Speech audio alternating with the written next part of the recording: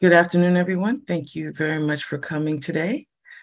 Uh, I would like to introduce to you our Vice President of the Haitian Studies Association, Ms. Cécile Accilien. Bienvenue, bienvenue. Welcome, everyone. On behalf of the Haitian Studies Association and especially the Executive Board um, and the members and President Regine Jackson, I want to thank you for being here this afternoon. Mwen vle di tout moun mersi pou prezans nou apremidi ya ou nan de Asosyasyon Etid Haitien e sitou ou nan de Prezident Regine Jackson ki pat kala avek nou jodi ya.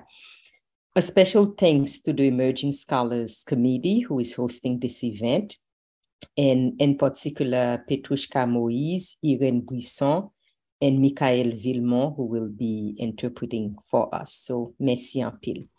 Merci à comité Jeune Cherchea, c'est yo kap fait événement après-midi et en particulier nous voulons dire merci à Petrushka Moïse, Irene Brisson et Michael Villemont kap interprété pour nous. Just a few um, reminder, our 34th annual conference will be held from October 7th to the 9th at Howard University.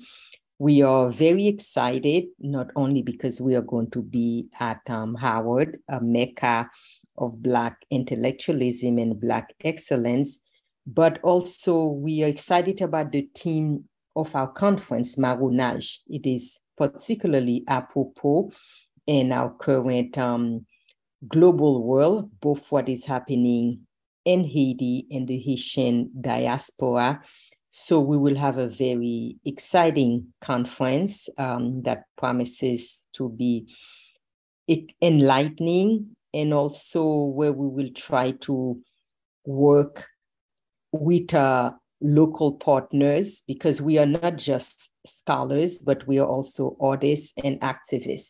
And as we say in Haitian Creole, en pile with many hands the load is lighter. It takes all of us. Uh, rappele tout moun ki la ke konferans 34e konferans anyel la ap fet nan Universite Howard. Universite Howard se yon nan universite ki pi important e se yon sant de kote intelektuel nou asi toujou reyni. So nou tre kontan ke nap gen opotinite pou nou fe konferans lan la. Nou content en pile en pile tout parce que thème conférence là c'est marronnage. Et ça fait marronnage là important surtout dans le moment n'a vivre là ni ça qui passé dans pays nous Haïti mais ça qui passé dans diaspora et ça qui passé dans le monde là globalement. Alors n'attend nous Howard nous connaît ou a passé un bon moment. Ap gen aktivis, ap gen artis, ap gen tout sort d'intelektuel nou pal brase l'ide sou diferant sityasyon e sou diferant praksis e nap kontan wè ou. Denye bagay mwen ta vle mensyone, se ke komite jen chèche a gen pri Michel Wolf Trouyoua si ou nomine yon moun, ou ta reme nomine tetou, tan pri wap Irene fek chat la. The last thing I want to remind everyone is that the Emerging Scholars has um, the Michel-Rolph Trouillot Award, and Irene just put it on the chat. If you would like to nominate someone or um, self-nomination, please go to the link so that you can um, see what you need to do. Lastly, I also want to thank um, Julio, who is the person behind the scene who makes all this magic happen. Without him, we will not um, be able to be here because I don't know how this all works, but it happens by magic. So, a big thank you um, to Julio. And also, I believe it's it's um, always important to acknowledge some of our founders because we sit on the shoulders of those who came before us. So in that regard, I just want to acknowledge the presence of Dr. Claudine Michel, one of the founder of HSA, Mama HSA, as we say to her in Creole. Um, moi, juste voulais remercier Julio, qui c'est lui qui fait tout gros travail pour faire magie, pour faire um, tout, pour faire tout ça arriver, pour faire magie, si vous voulez, pour, pour tout bagaille bien marcher um, en termes de technologie. Et tout, moi, je voulais un aibobo spécial pour Dr. Claudine Michel, qui est un fondateur HSC. OK, merci en pile. Um, thank you very much. I will pass it um, to Irene, who will introduce our moderator, Dr. Petrushka Moïse. Thank you. Merci, Dr. Irene Buisson. OK, oui, merci. Um, on passe directement pour Petrushka Moïse, uh, un, an assistant professor. I don't have this language in my head in Creole. Uh, assistant professor na, na College Grinnell. And um, Petrushka Moïse is assistant professor at Grinnell College and will be um, orienting us to today's activities. Thanks.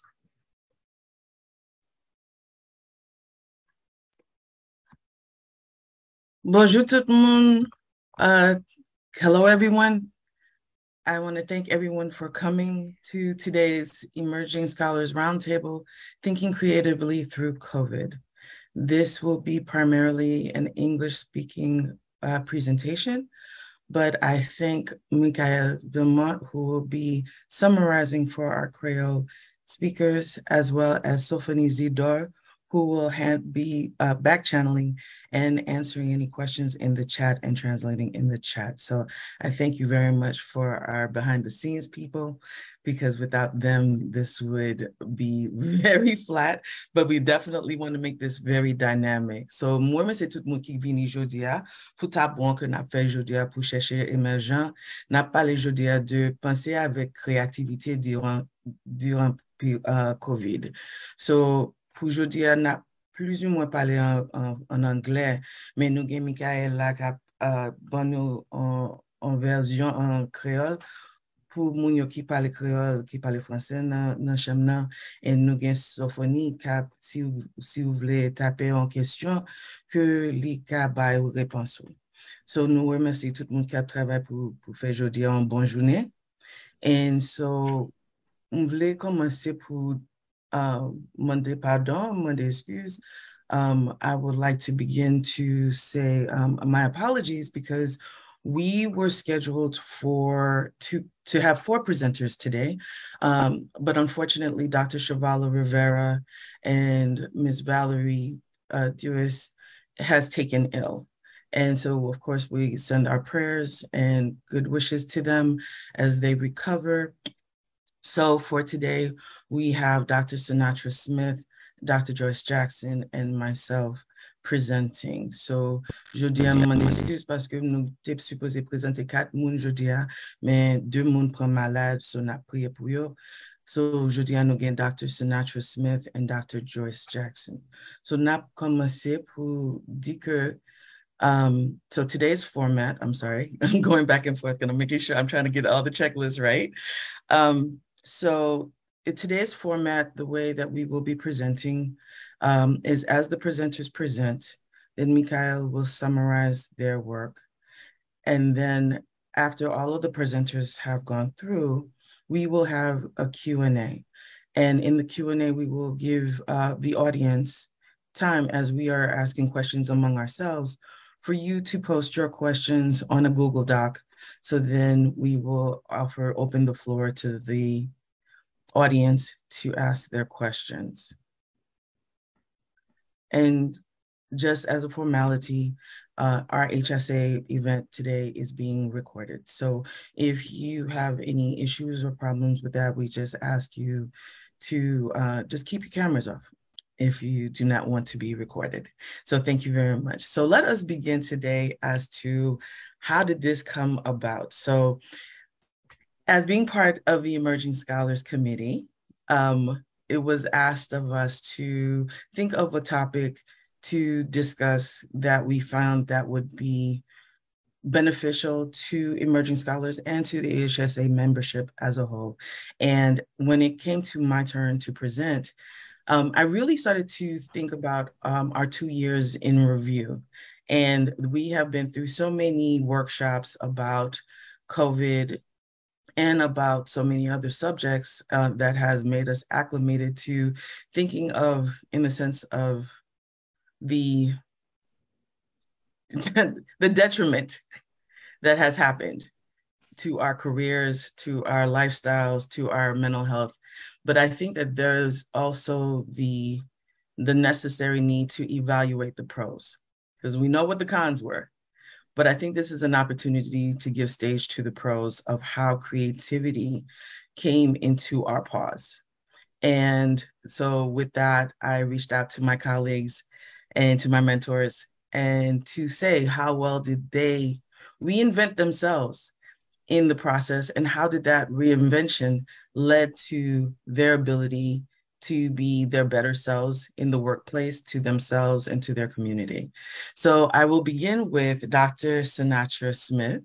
Dr. Smith is an Afrofuturist cultural preservationist. She is a fellow CLIR DLF postdoctoral fellow in data curation for African American Studies for the Philadelphia Museum of Arts and Temple University Libraries.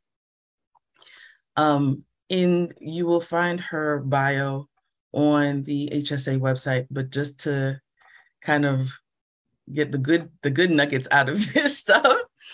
Um, Dr. Synatra's work focuses on the ways in which Black cultural landscapes transform accesses to special collections and archives through a Black speculative methodology that utilizes extended reality, XR, and other digital humanity tools. In her postdoctoral fellowship, she recently launched a project entitled Sacred Geographic Superimpositions which is a spiritual scholarly endeavor to document and celebrate ephemeral Black public art in Philadelphia in a manner that transports them into the ancestral plane of the transformative archives to bring scholarly research and data curation out of the academy into a curated space grounded in storytelling and interpretation through story mapping and augmented reality. I welcome Dr. Synatra Smith. Thank you, Dr. Petrushka Moise. um, I'm going to go ahead and share my screen. And I entitled this presentation, Doing the Best I Can with What I Got. And it comes from a Mariah Carey meme of her saying something. I'll have a little gif of it at the end. Um, but overall, my experience through COVID has been quite phenomenal. I started this journey um, unemployed. I'd gotten fired the Saturday before Christmas and of 2019, and then unemployed, you know, all throughout. And um, COVID hit, and that actually kind of changed the way that I felt about my unemployment. A lot of folks were losing their jobs. I lost mine in a in a way where I could still kind of sustain myself. Can't say that for a lot of other folks. People were getting sick and dying and everything. So I started to become a lot more grateful for my circumstances.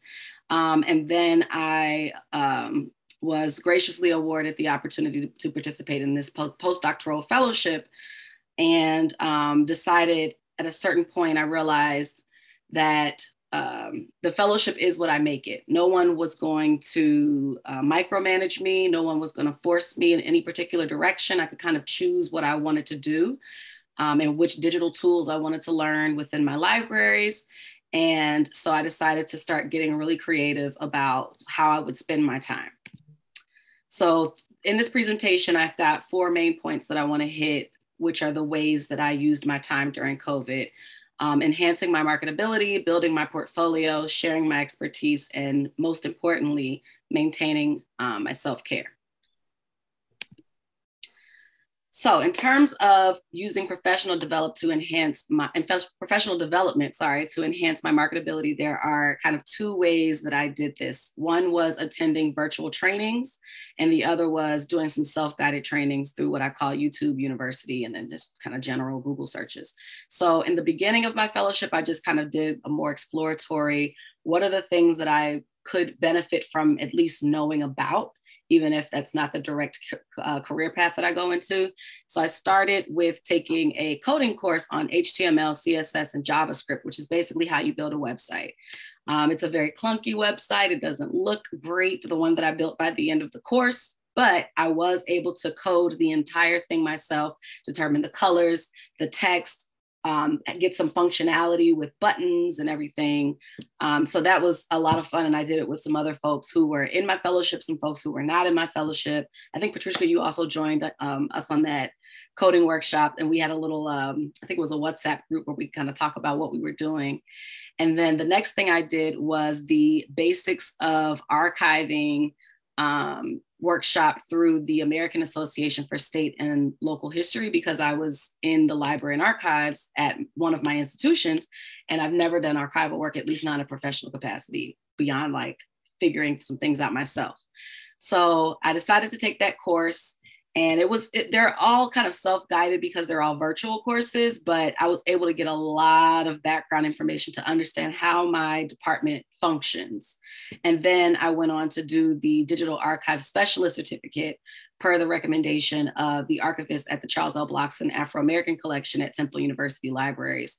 Um, she was helping me position myself for when this fellowship is over let's get a job. Let's get a permanent position right? So that was through the Society of American Archivists, another completely virtual thing, which originally there's an in-person component um, at their conference that's required in order to complete that certificate but because of covid nothing's happening in person of course so they changed that into a um, a zoom in-person training for I think two days or something like that.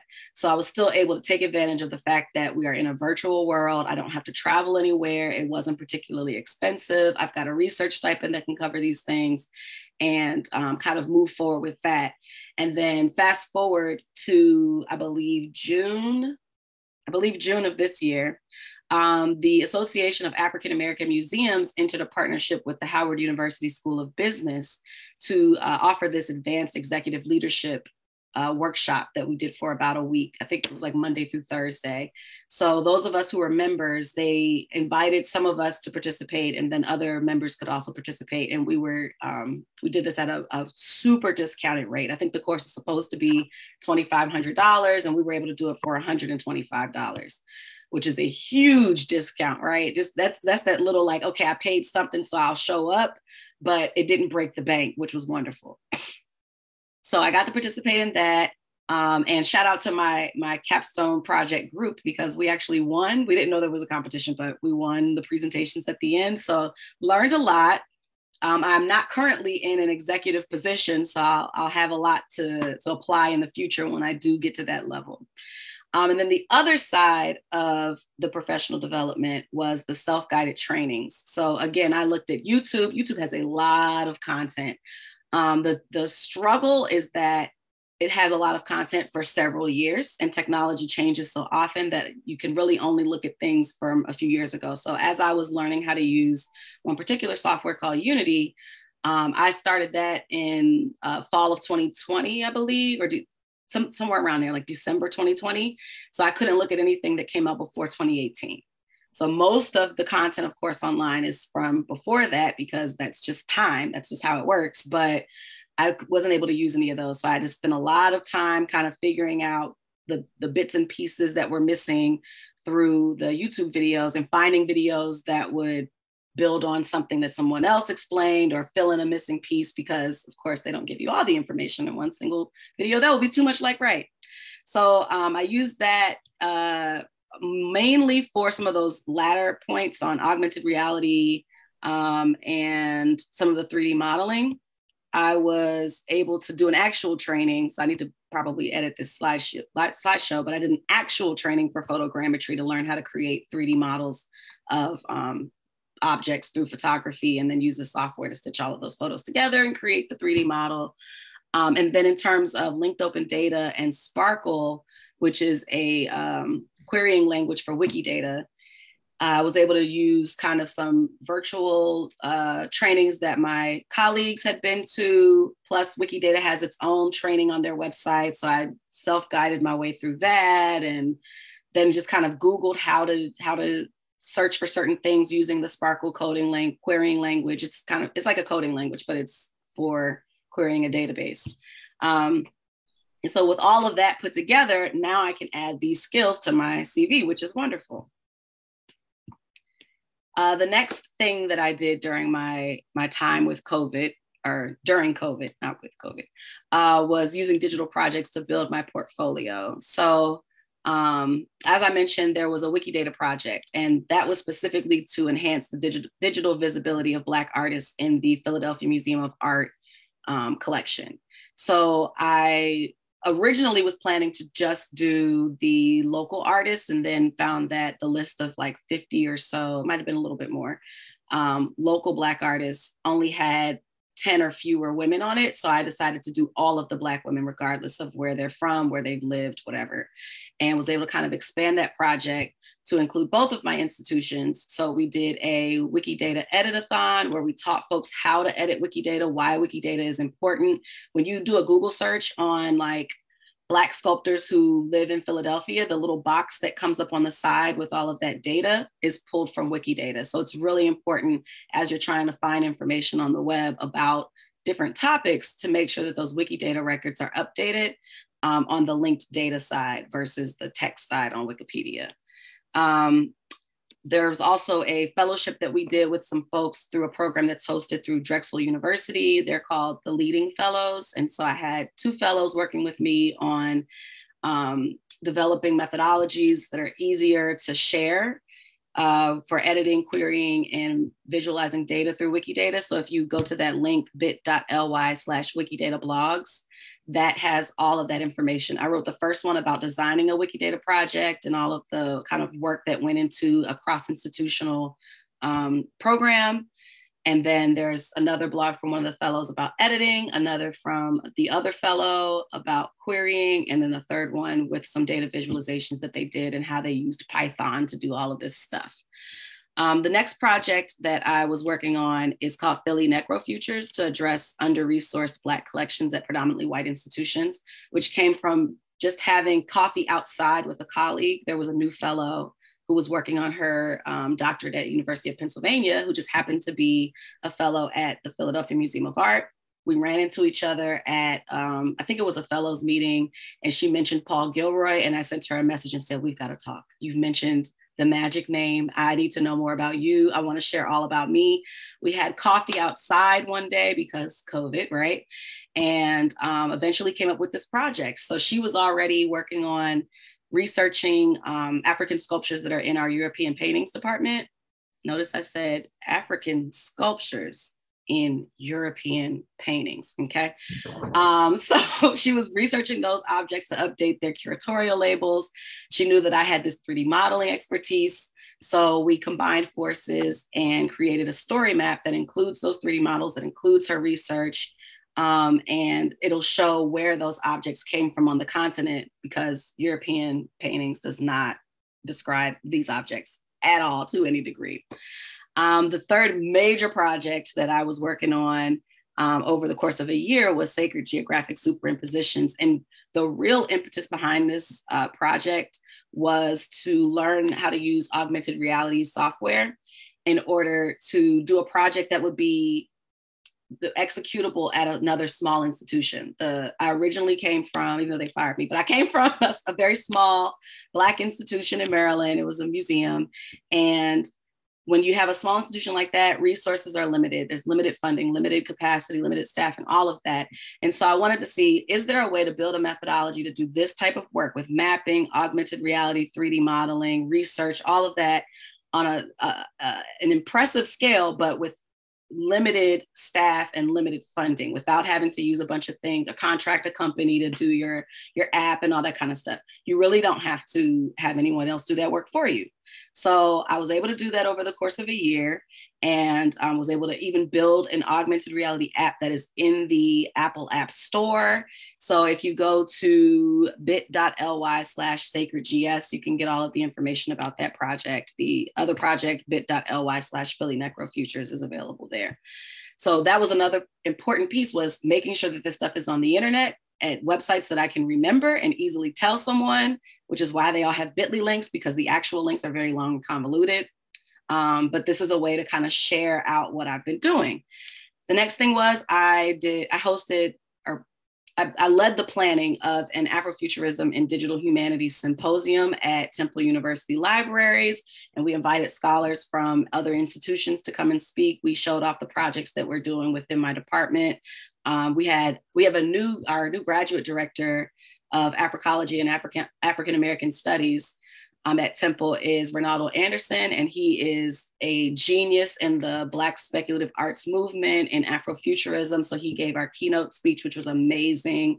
And then we were able to publish or submit, still working on it, but submit for publication a special issue of the Journal of Black Studies um, to share that work out beyond uh, just the symposium itself.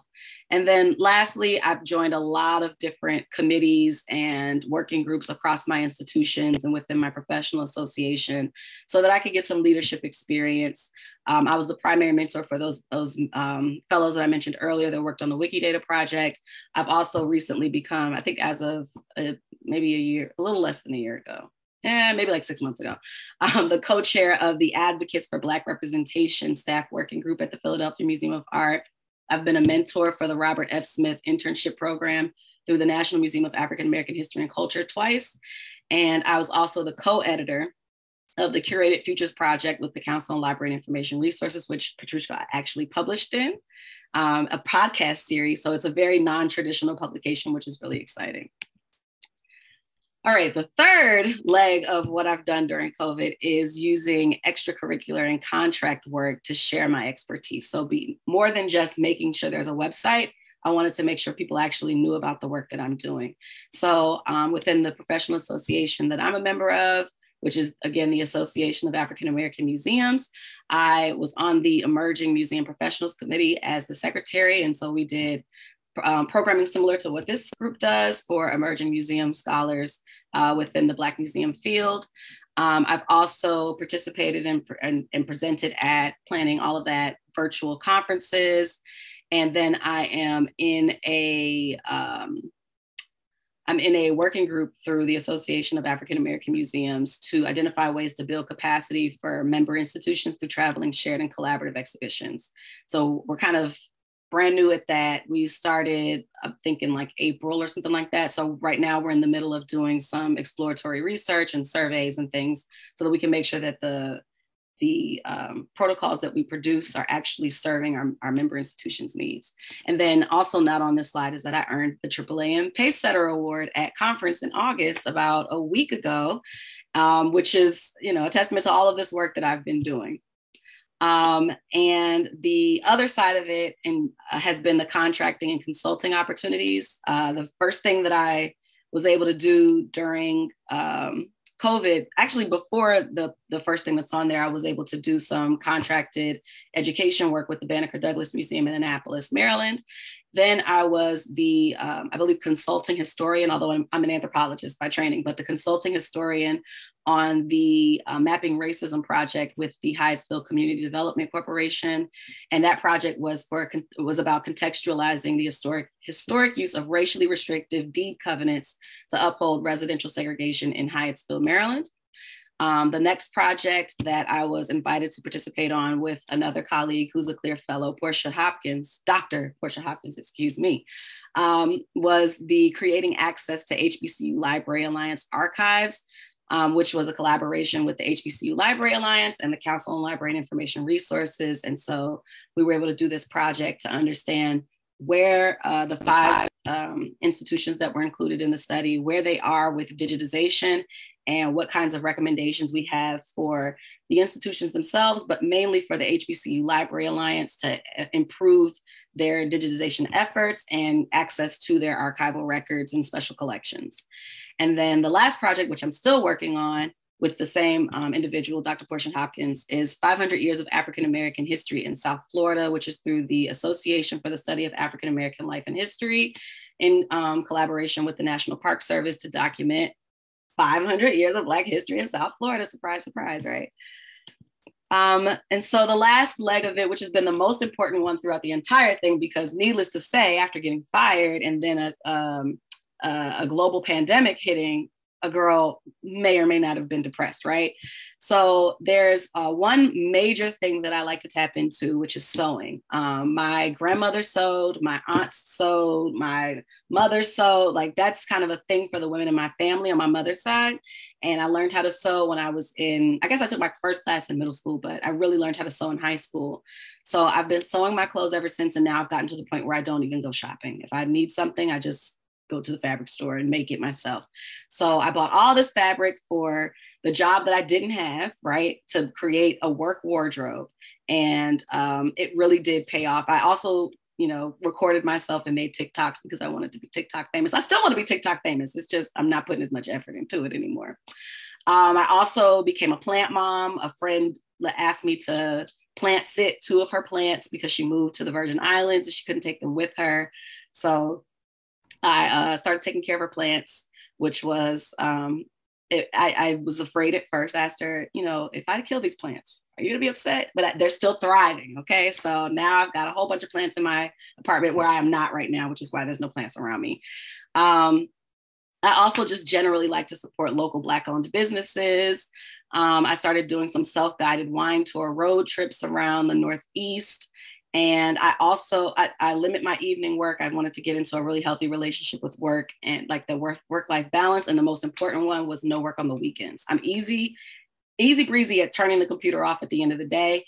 And then Saturday morning, I'd wake up and pull my laptop out and start working at seven o'clock in the morning on a Saturday and a Sunday. So I got into the habit of no more work on weekends. Period. I did sneak a little bit when I was building that augmented reality app, but otherwise, I've been very very good about that.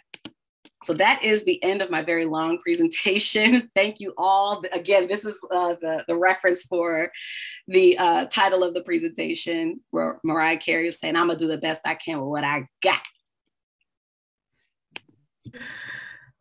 Thank you, Dr. Smith. And now we will have Mikael Vilmont to give a synopsis and summary in Creole.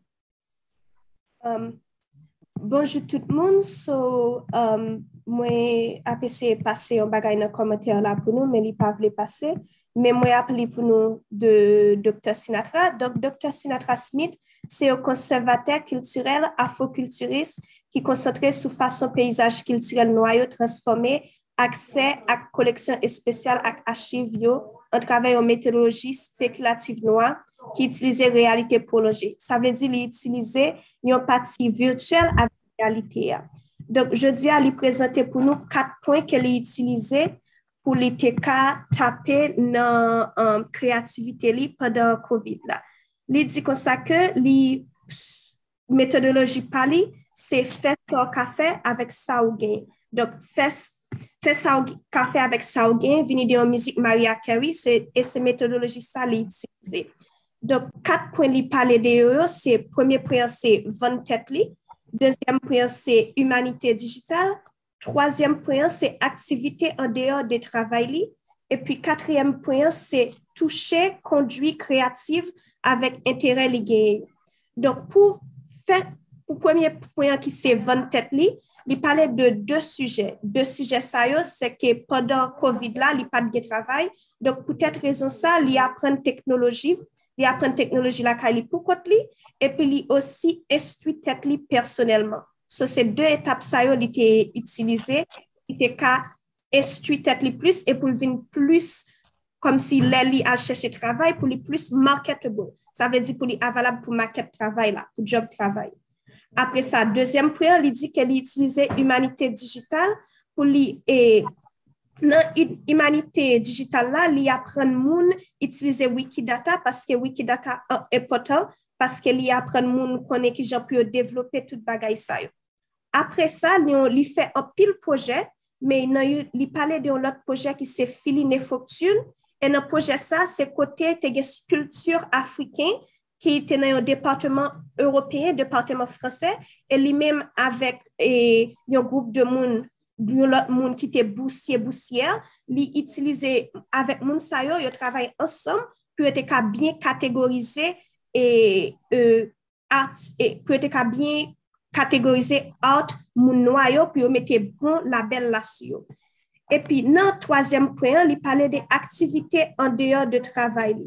Donk, li, li investi nan organizasyon profesyonel, e pi li komanse travay tankou yon konsiltan avek yon kontrakter pou travay tankou kat geografik. Kat geografik la ki se mapping. Sa vle di li mem li ede sosyete alantou li nan travay ki ap ede moun noa avanse e donk tout travay sa li se yon konsiltan personel ou bien yon kontrakter sa vle di yon employel pou li bay opinyon skoler li, opinyon tokou savan. E pi nan katriyem nan li di konsa ke li touche avèk entere li e pi kondwi kreativ li. Nan sa li di konsa li fè TikTok, li vini yon kouturyer e pi li pa travay le week-end. Sa ve di le samdi, dimanche, li pa travay paske sou baray ki trez epotan. Donk, mwen pral pase not chat la, yon rezume de tout sa mse diyo, e ou ka li plus li. Mersi. Mersi, Mikael. And now we are going to continue with Dr. Joyce M. Jackson, who is the um, who is a mentor and a close friend of mine, um, who was also on my committee with, for my thesis. Um, Dr. Joyce and I have uh, been friends longer than we have known each other because we have a whole universe of people who have been trying to get us connected, and it took them seven years for us to finally meet. So I have the pleasure of introducing Dr. Joyce Marie Jackson, who is the chair of the Department of Geography and Anthropology and the former director of the African and African American Studies at Louisiana State University in Baton Rouge. Dr. Jackson is the James J. Parsons Endowment Professorship at LSU. She earned her PhD from Indiana University, Bloomington in folklore ethnomusicology, and her core research centers on African and African American diaspora performances centered ritual studies, including the Black masking Indians and the Baptist Easter rocks in Louisiana, carnival, carn, carnivalistic identities, and community sustainability in Trinidad and Haiti, and women's healing rituals in the Lebu ethnic groups in the Northwest region of Senegal, West Africa. So I will now turn the floor over to Dr. Joyce Jackson. Thank you very much, uh, Petrushka. Uh, it's wonderful to, to work together again. And I'd like to say good afternoon to everybody. And it's, it's good to be here, share some stories with you and uh, some of my sort of reimagined experiences during the pandemic journey. Um, first, I'll, I'll look at uh, academia first. That sort of uh, overpowers my life. But um, you know, in going through the, the pandemic, I like to talk about some of the things that that hi- that were highlighted, because what matters most about the campus and also looking at well in that particular situation the non-campus experience, but more importantly, you know, it highlighted what um, and who mattered most in life. So again, uh, as Synatra says, we have to look at this work balance or relationship. So I had to sort of reimagine my experience because um, uh, as a professor um, and with my students, but I had to look at my, and I always looked at my, my classroom as a, a social, an academic social environment. And I had to look at, okay, so how am I going to deal with this now that we're no longer together in the classroom and on these, um, you know, in these virtual settings. So um, I had to look at um, ways of, you know, trying to, of course, um, get them uh, motivated uh, and being on these screens and how to engage them and to have them engage with each other because that that's that's a really important aspect of, of learning too not just getting it from the professor but to uh, talk in these uh, settings where you can actually bring out your ideas and hear your uh, the ideas of your peers. So, uh, uh, fortunately, I had had a training call. We call it at LSU. I'm, I'm at Louisiana State University, and we call it CXC, Communication Across Curriculums. And what it is is just a, a program where we try to put more aspects of communication within the classroom. And you know, we look at four modes like the oral communication, written communication, visual, and technology. And we have to decide if we're gonna if we're gonna certify our class to be a CXC class, we have to decide to use two of those modes. And so I decided to use visual and technology. Well, you know, we already had written because I have written assignments and essays and things like that. So I decided to incorporate uh, the visual and the technology. And of course, many of the students had not dealt with this before, and neither had I, to tell you the truth. So we were learning together. I took the training for um, a week uh, during the summer. And um, and one of the main things is you know learning how to do all these things and and and working on a syllabus to sort of pivot that syllabus to be a CXC syllabus. Uh, so now I'm trying to figure out how I'm going to use this because I'm pivoting to CXC, but I'm also pivoting virtually. Uh, so I had a lot of uh, challenges there. But uh, what I mainly did was to, um, well, we had to deal with what they call Kaltura, which is a video program on, on Moodle. Well, then they've cut it out now, but at the time we had Kaltura. And um, we used it to um, you know, they could video themselves and then send the video to me, and then I would put it up on class. And so they were able to do sort of critical analysis of a book. Uh, they could start on their proposals and present those to the class. So just about everything the students did, they had to present it to not only me, but also to the class. And they could critique each other. And they really got to, and you know, I think they really got to know each other better that way because they were sub- submitting everything to me and the class. So everybody knew what everybody else was doing. And um, they actually helped out each other. I think it worked out um, for class. And, and the other thing, in my classes, uh, I always require ethnographies. They have to go out and do field work in all of my classes, whether it's, you know, my diaspora class, folklore and African diaspora, if it's urban ethnography, if it's a class on rituals or even music. I do a course in Black music because I'm also an ethnomusicologist. So in all of my classes, field work is required. So, okay, here we are in this virtual setting in the pandemic. How are we going to do field work? And uh, so we had to really come up with some creative ways. Um, and some of the, the, the folks that uh, the students wanted to interview were maybe family members. Um, and so they were really getting to, and they really enjoyed this because they were really getting to know some of their family members better. Uh, now they're at home with a lot of folks at the same time, and they have to find their little, their little moment or their little area to do their work. But then they could also interview them. And um, some of them had to interview people by email, or they had to interview them on the phone, uh, Facebook. So they were, you know, finding all of these uh, ways of getting their ethnographies done. And so it really turned out to be because, you know, as I said before, they had to come up with some creative thinking, and so did I, because some of them couldn't come up with anything. And of course, they would come to me, and I had to figure out, okay, so what can you do to get some field work done? Um, so those were the two challenges: uh, look using that CXC program for the first time, and also, um, you know, figuring out, okay, how are we going to do this field work? And uh, but it really it really turned out well. And it's, uh, actually, students if they take three courses that are certified CXC, they can actually get graduate with a certification in communication and they can graduate with uh, a CXC medal. So those are the two things that we encourage them to do um, because the communication cross curriculum is, is very good for them because everybody has to do it. So you have them in business, you have them in engineering, and of course, in my department, geography and anthropology. Uh, and so all, I mean, so it's across the curriculum. Anybody can do, can cert- get the certification in uh, CXC. So that was one of the things that was really pivotal for me to try and, and work with my students and to get them engaged and to do the things that we, they needed to do in a virtual setting. Um, so um, see, the other thing that um, I like to talk about uh, is the creative side that emerged uh, from all of this. Uh, I guess I've been sort of like a closet uh, uh, artist, but I've always tried to, you know, advocate for artists and, you know, present others and showcase other artists. I never looked at myself except, you know, I'm a performing artist, but I've never been like a visual artist. So that was the other side of me that was trying to come out during COVID.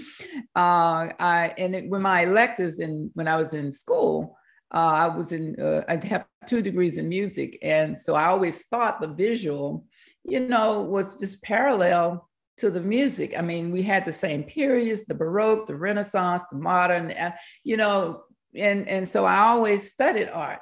I mean, studied art history and things like that. I never did take an applied art course in um, you know in, in school but i always took art courses as my uh, electives so i've always been interested in visual arts so i said well here i am at home i have this time let me see what i can do and so i, I looked for art classes and i found one i did uh, a painting and uh, then i think the one that really resonated with me though was um, an applique class a textile class because i had um, I had a lot of fabric that I brought because I do work in, in West Africa and Senegal. And so every time I go, I bring back, you know, like boats of fabric. One day to sew, you know, I can I can sew too. Synatra. I just haven't had time to do hardly any of it. But I say, okay, now, but I'm, i want to do this applique thing. And so I uh, got in touch with another artist that I knew that was a friend of mine in a different organization. And um, she does various mediums. And I took this applique uh, course with her and actually did a piece uh, that I called The Jazz Singer a la Sarah Vaughan, which is one of my favorite jazz singers. And so I did that piece. I had my little inspirational piece and then I did my other piece. And the course, the course was that in Atlanta at the Fulton County Arts um, Arts Commission or the, the Arts um, but the arts organization in, in Atlanta. And um, and so they actually had exhibits and she could submit there were several art classes so she could submit um, i think she submitted maybe four or six of her students and I was one that was submitted and actually one that was chosen to be exhibited. And that was my first time having my maybe the second or third piece on exhibit at the Fulton County Arts Council. And I was just so excited. Like that came out of me. And, and it really was good because it gave me a time that I could just get away totally from my academic thinking and go to my visual art thinking, which you know new for me. And I, um, I mean, it was just time because I would look forward to take those classes twice a week in between the classes I was teaching. So I would just look forward to that moment when I could do my little art class. And it was just, you know, she would, you know, talk to us about the history, about the fabric. And so she's she would give us lectures. And then we have, you know, she would work with she's working on a piece while all of us was working on a piece. And it was a small class. I think it was about maybe 10 of us, eight, uh, maybe eight of us but um, it was really uh, an exciting time for me because uh, that part of me was coming out that that normally come out and that and uh, and to have it exhibited was was really nice. But um, so that that really was a positive very positive um, um, spot in the in the pandemic journey for me. And then i felt refreshed and then i can go back you know and work on my things for my class work on my research.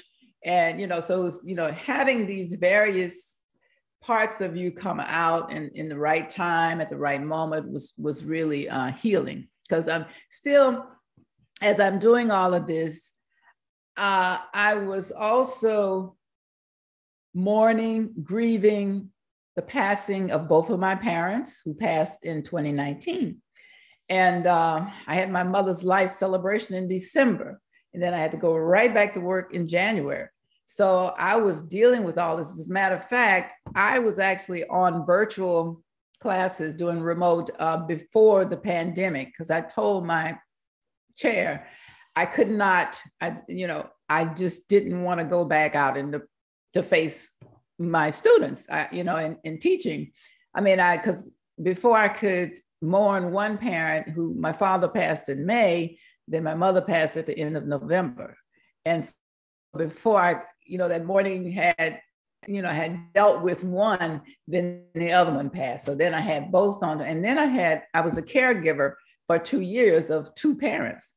So I had all of that going on and then trying to get, you know, navigate through the pandemic and then dealing with the morning side and trying to do these new, this sort of new class. and uh, then trying to take some time for myself and to figure out. So I was kind of reimagining my life, really, because it had never been, of course, without my parents. And so I was, um, I guess, was trying to figure out, okay, there, these are the two people that had unconditional love for me, and that I had unconditional love for them. Both of them gone almost at the same time. So, how is my life? You know, how do I reimagine my life? And so that's what I was also dealing with while, um, you know, navigating the pandemic. So I had issues, some health issues myself because of the stress of working, you know, being a caregiver for two years. And then both of your people that you're caring for passed within six months of each other. So I was um, also navigating that while at the same time trying to work with my students and be the best that I could be for them. But and I told my chair I couldn't do it. I said I don't know how you know I. So I was planning on taking the FMLA leave again, and he said, "What if I just let you go online?" Um, and so he made it possible because we nobody was online in January when classes started. So he made it possible for me to go online uh, because you know you know we didn't want to really cancel the classes and and I just didn't you know because you know when you when you still mourning you might just you know some, something triggers you and you just start crying all of a sudden I didn't want to just you know cry in front of my class and you know on the board and trying to do something and something hits me and I I wasn't ready to face the public again. I wasn't ready to face my students again. And so he went along with with it, he said, okay, well, we're gonna, you, you know, we'll set you up where you can go online. So I had never taught a fully online class before. So that was another thing I had to deal with in teaching online, you know, before everybody else went online. I had never done an on- online class. So, but anyway, I made it happen. And um, um, and, and, and I, so I went online in January when we first started classes. But the other thing, I was taking uh, therapy, physical therapy, because I had issues, you know, health issues, basically with my back and shoulders and things like that. So I'd go out at 7 a.m. in the morning, I'd take my physical therapy. And if I was going to a grocery store or whatever, I'd come right back home.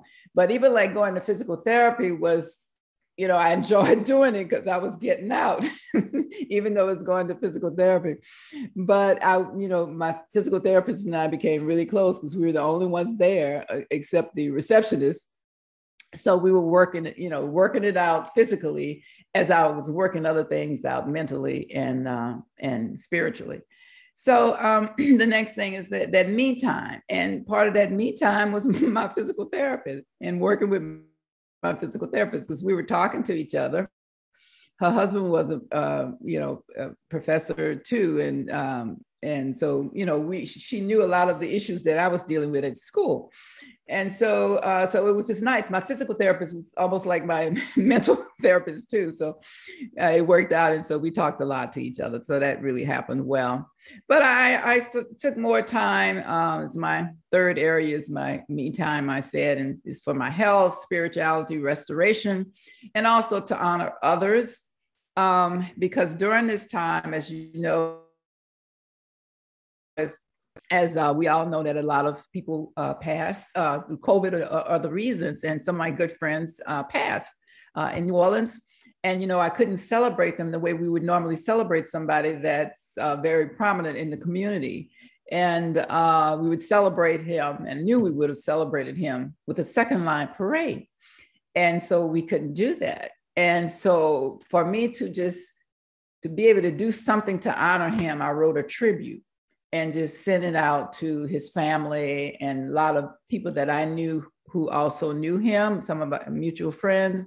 And so I wrote a tribute to him and the family really thanked me because, you know, it was it was very difficult because we could not celebrate his life the way we would have normally done in um, in New Orleans. And then, of course, I had some other friends that I wrote tributes for, and then I had family members that passed um, that um, I helped with obituaries and, you know, of course, didn't attend the funeral. Most of them didn't even have funerals, but just a family viewing period, and that was it. So I, you know, so I had to find out how I could honor others, even though, you know, through their passing uh, and, you know, with their families. And um, the other thing is, I had a couple that I worked with that was 92 years old. They were friends of my parents. And so I would go out and just, I would check on them, call them, and, you know, bring them a meal every now and then. They had, you know, the council on aging, but it was good to just see a friendly face that they knew. And they called me their other daughter. Their, their, their daughter, one daughter was living in another state. And so she couldn't really come and visit them. So I would just drop in every now and then, maybe a couple of times a month uh, to just you know be with them for a little while and so it, it just because i just felt the need to um, you know to do something for other people that you know that i cared about and that were and some that i didn't know didn't even know that i had that i did things for but it's just that you have you know so you're trying to keep your life as balanced as possible and you do these things outside of the pandemic so you try to keep going the little things that you can control and do during the pandemic. Um, and, you know, and, and still trying to get through passing, I mean, getting through mourning, because, you know, that was a really tough time for me. But I found out that, you know, I grew within that time because, you know, I was reading things about death and about mourning and things like that. And, you know, it turns out that I could share it with other people that were, you know, going through some of the same things. So, you know, you just never know what you can get through until you have no other choice. And some of those things just, um, you know, just happen. And but I think I came out okay. I mean, I came out of it. Uh, and I know we're not totally out yet, but um, I came out um, as chair of the department. You might say on my academic side, um, that I had I was elected by the um, professors and I was um, then appointed by the dean. And turned out that I was the first woman and African American or person of color, period, to chair that department in the 93 years that it existed. So I landed on my feet and, um, you know, and I think all for the better. I grew, you know, I think I became wiser in some issues and uh, so it, I can't say it was all bad. I, I, I, I grew a lot. And, um, you know, in some ways that um, I probably wouldn't have if it hadn't been for the pandemic. And I'll just stop at that. Thank you very much. Mm-hmm. Thank you, Dr. Jackson. And now we will have Michaela's summary. OK. de Dr. Jackson et Dr. Jackson parlait de différence dans la cour l'école là avec pas dans la cour l'école là. Et lui dit que ça, ça qui était important pour lui pendant l'époque ça, c'était balancer travail, ça veut dire travail l'école avec la vie personnelle. Après ça, pour travailler, il faut connaître qui est l'intérêt élèves parce qu'ils a enseigné en ligne avec le suivi d'un séminaire qui aident à mettre plus d'accès à la technologie en classe. Il a mélangé la technologie avec la réalité. Et il utilisé la technologie pour partager le travail fait. Ça veut dire que a fait des vidéos, des devoirs et puis il les a dans un format en ligne côté tout l'autre élève a eu accès avec lui. Et puis, il m'a dit pour lui mettre main à la pâte. Mais à la pâte, ça veut dire que pour engager notre travail à faire en dehors de classe là. Ça veut dire tout travail n'est pas fait en ligne seulement. Euh, il dit que pendant l'époque COVID là, ça a été un difficile pour lui parce que vous connaissez mon pas de casse de dehors, pas de mettre main à la pâte notre travail là. C'est ça que fait. Et si, si, ki se te yon format anling ki pemet elev yo pataje devwayo, se sa ki fe CXIA te vreman ede li apil padan la ensegnye klas li yo. Apre sa, li pale de, et, dezyemman, li pale de etere artistik li. Li di kon sa ke li pre klas penti, e klas penti yo te pemet li detache l avèk la vi akademik li. E padan la pre klas penti sa yo, li um, Petio te arrive prezante nan yon ekzibisyon. Apre sa li di ke li se yon kontisuryer tou, dok se pa selman Dr. Sinatra. Um, li pale de yon baray ki yon tijan personel pou li, li di ke pandan COVID la, li perdi de paran li, ki donk li te oblige reimagine la vil nan mitan COVID san paran li. Se sa ke fe li komanse, se sa ke fe pou li mem li te komanse ensegnye en ligne depuis en janvier, en fait, avant de gagner quarantine. Donc, il a gagné une période d'ajustement avant tout le monde a commencé enseigner en ligne.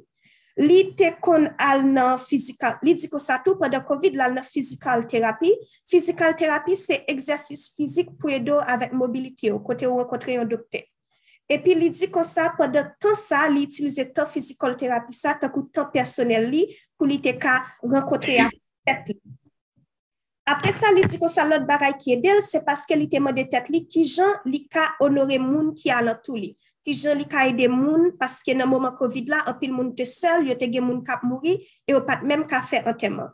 Donk li di, li ka onore moun yo, not cheke si yo, e poutan li yo, li ede yo le yo bezwen, li di, li pense ke li li soti ok, fin soti net, nan tout um, li pou kon fin soti net COVID la, a koz de travay li te feyo, li se premye fi, premye moun noa ki se chef depatman antropologi kote la travay la.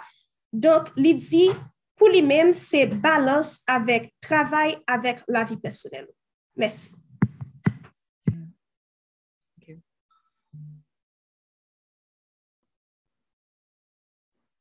Thank you. Okay, so our last presenter is also our moderator, Petrouchka, Dr. Petrouchka Moise. Um, so I'll be introducing Dr. Petrouchka Moise is currently the Cultural and Community-Based Digital Curator and CLIR Mellon Postdoctoral Fellow at Cornell College. All right. Okay, thank you. And let me go ahead and share my screen.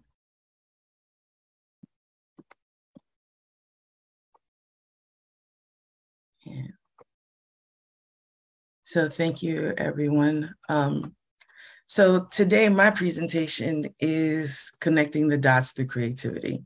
So uh, when COVID came, I wasn't even kind of aware of it coming down the pipeline because at the point that uh, the world was talking about it, I was finalizing my thesis and getting ready to defend my presentation. So I was the last to present at LSU before the world shut down.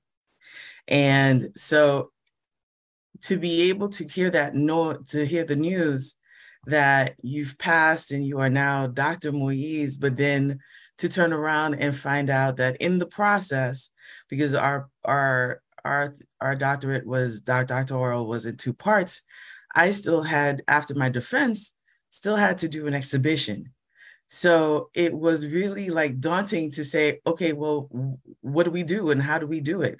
And so it was definitely detoured, but not deterred. So kind of going in and because of my background and career in disaster recovery and I just treated COVID like as if it was Hurricane Katrina. Like with living in Louisiana, you kind of get used to like, okay, we're gonna hunker down and we're just gonna get through this. And we got the boudin, we got the beer, and we're gonna keep it moving.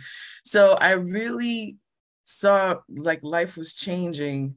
And so there were things that I just said, you know what, you got to just kind of make some rules in your head of what you don't want to lose in the process. So I made it very evident to myself, wrote it on uh, posted, wrote it on paper, had these mantras coming back to me that I did not want to lose my joy. I wanted to take my memories with me. I didn't want to compromise my values. I wanted to keep, I wanted to stay in the fight as possible. Um, I wanted to make sure that I don't allow myself to feel insignificant or exercise hope.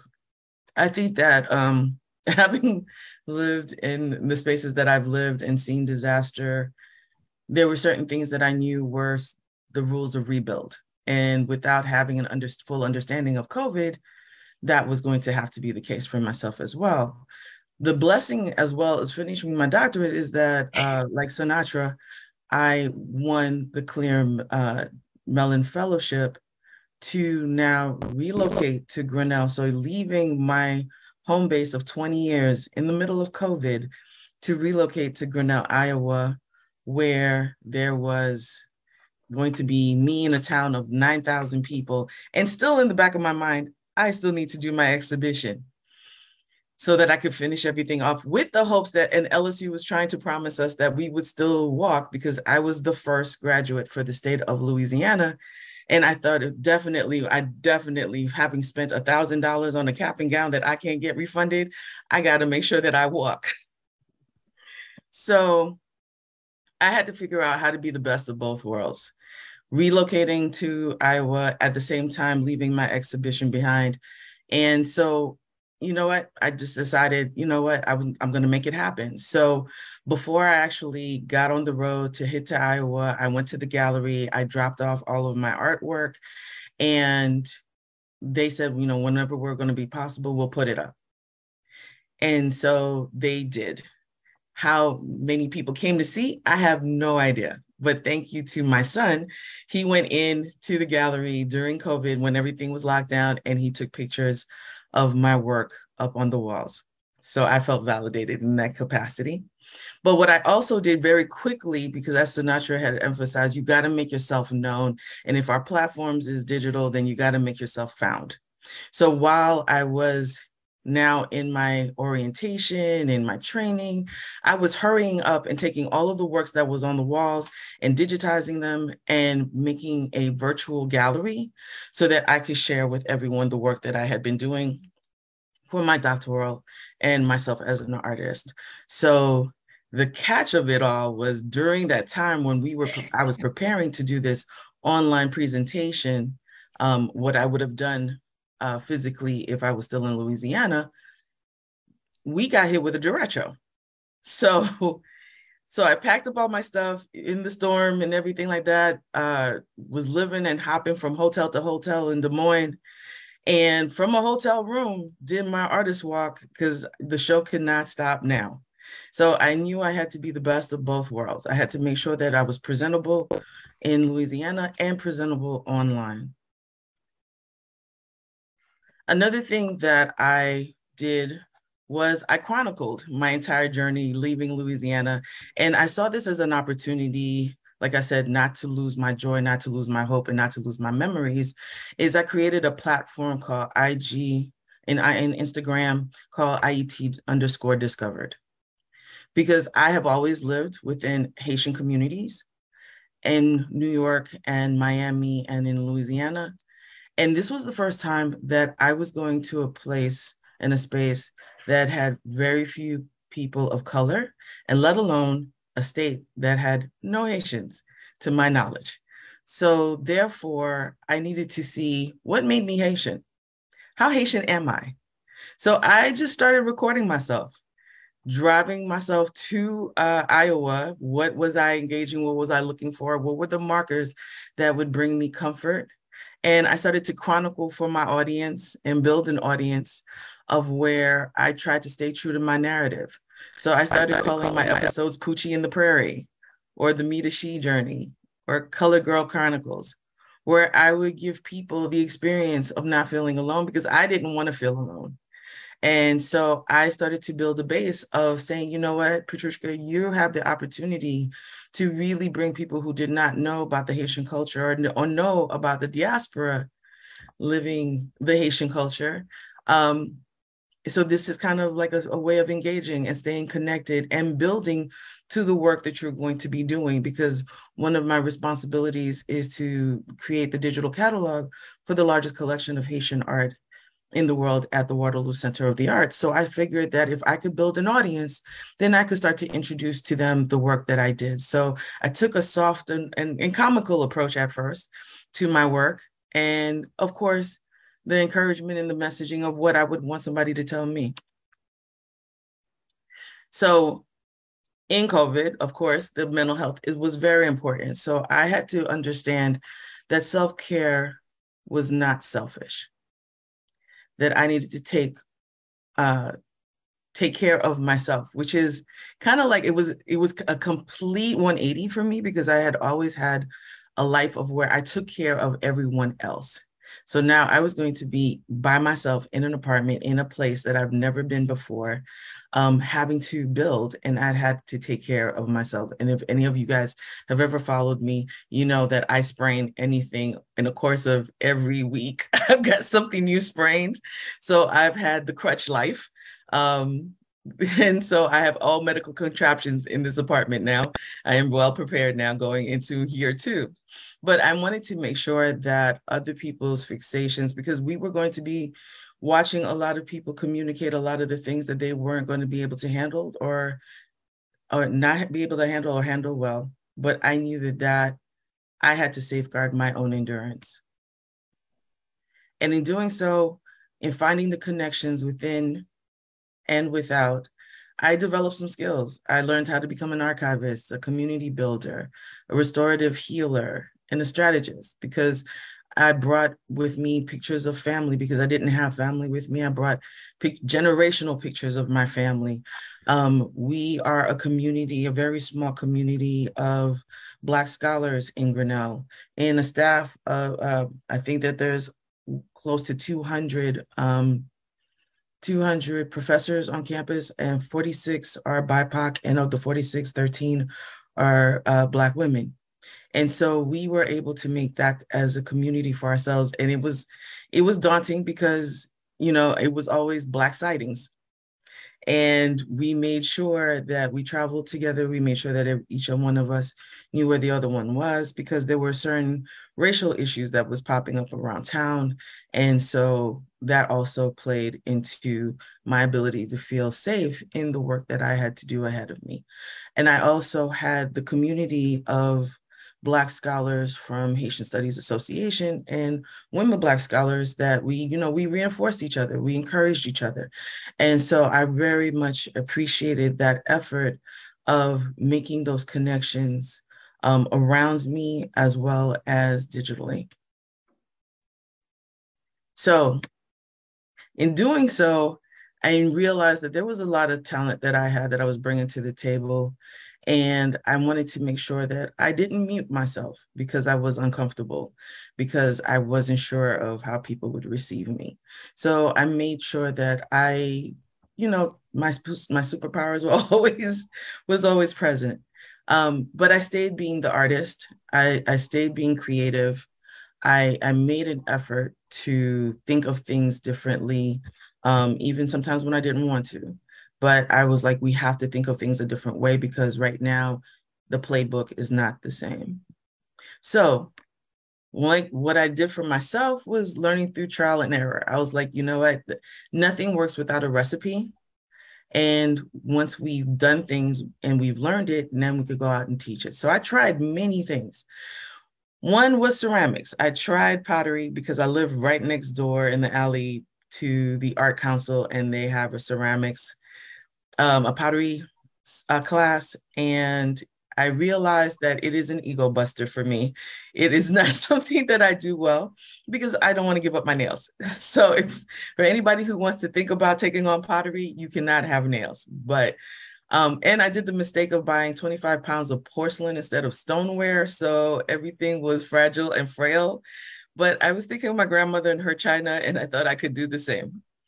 Um, but instead, I taught myself to cook. Um, found this wonderful cookbook, and I said, you know what? If I'm going to discover how Haitian I am, I am going to go ahead and try every single recipe. So, of course, when you have an air fryer, you do try to convert all the recipes. And so that was my banan bukane in an air fryer. And this was my way of doing a piece because if you come from a Haitian family, you do not know how to cook for one. So the challenge was now how to cook in the context in the context that I knew, but then how to preserve it because I did not want to waste food. So this was me doing my IPs for the year, and that whole batch actually lasts about a year and a half for me. So I put them in freeze trays and I was putting them in and I was sharing the recipe with everyone. And what I started to learn was the fact of Patricia, you're still the consultant. You can still consult people in doing different things different ways. So when you learn that, then you learn the formulas of success. So I am a, a, business consultant, but I started to become a mentee for the students on campus. So for our first year, we were not allowed to have the students on campus. Um, we all worked remotely. And so that relationship that I had to build had to be different because the students did not know me. I didn't have kind of like a classroom or an office that people could walk by and who's Dr. Moise and how are we going to get to know her. So I started to work through my colleagues to get to know their students, their classes. I would audit classes where I would get introduced. And then the second year, um, I wanted a student to work in the studio with me. So I looked for a student to mentor. And so I was blessed with um, Paula Persiani, who uh, was a senior who, who just graduated and will be doing her master's at NYU uh, for fine arts. And so I was able to mentor her through her senior exhibition. Um, I was able to take my experience as a first responder to the classroom where I taught my first class because Grinnell allows you to create your own topics um, as a liberal arts college. So I started to talk about the narrative uh, that art plays in disaster recovery because I knew that the students had their own experiences coming from their own communities of how they were going to process COVID. And when the class started, we started to have the situation with Russia. So those kind of elements of watching different communities be affected, maybe by man-made or natural disasters, we we gave the space for them to discuss that. So being able to look at look at COVID and for the students to be able to bring their experiences to the classroom was very creative. And then like Synatra, I like to celebrate um, Black owned businesses, especially women Black owned businesses. So as I started to discover Black owned businesses, I would lend my experience as a business coach. And so this is um, I forgot the name of the, the shop in North Carolina, um, where I went and I met this lady who had just opened up her shop. She is the only Black owned female cigar shop in the state. And so I was celebrating her and her efforts and sharing at gratis uh, for free um, some kind of business tips that she could to level and how to utilize the internet to market her business, different events that she could throw that would be COVID safe and that would still help promote her business. So definitely when you know the recipe, you share. So I had to go out. I had to go find my tribe. And it all starts with that first step. So utilizing my platform of IET underscore discovered, um, I started to try to find artists in the community, Haitian artists, because uh, I'm four hours away from Chicago, um, Milwaukee. So I started to go all around looking for artists and venues to celebrate Haitian art. Because one of the things that happened during COVID is we couldn't travel, so I couldn't get to Haiti. Um, so it took me two years to finally get to Haiti and to get to Jacmel and Port-au-Prince uh, to see the artists there. But I said, you know what, let's not let this stop me. This is an opportunity and this is a platform to keep the conversation going. So it helped me to build my network and to find my tribe. Next was definitely forging the future that I wanted to see. So one of the things that was very important in the work that I do here and also in the discovery of myself was to make sure that I was able to communicate those things to all platforms. And I started to understand the importance of language, of the Creole language, the French language, and the Spanish language, and the English language in the Haitian landscape. And I wanted to be able to sure, be sure that I was able to be effective in all of that and create spaces where all of that can happen. So I my uh, participation with HSA, I was, have been on previous other panels. Um, I, we've been able to bring the talent and the the special, I want to say the talent, but also uh, subject experts to Grinnell and to surrounding museums in the area uh, to talk about different aspects of Haitian art. Um, I've gone to uh, Art Basel and translated for the Miami Basel and translated for different um, panels there. Uh, just recently with Synatra, I went to the AAAM and started to kind of talk about where is the Haitian signature in the African American Museum and where are we in the landscape. Um, so definitely I felt that for me, I definitely stepped up my game in becoming a translator in a culture baron as a spokesperson. So definitely said that in this time, by the time COVID is over, I would like my future to be a lot better than, than my past. So what COVID has definitely done is hone in my my my view of being Haitian, but also to leverage that into different projects that I could move forward on. So WAPCON art is me taking my uh, me taking those experiences of traveling around the diaspora, and if I could be the Johnny Appleseed of Haitian art, I would love to be. Where we're able to showcase all of the museums and the galleries in the global north and south, and bringing awareness to artists and shaping that narrative, and um, bringing more people to the opportunity that when COVID is truly over and the world opens up again, that they now have new places and new sites to travel to.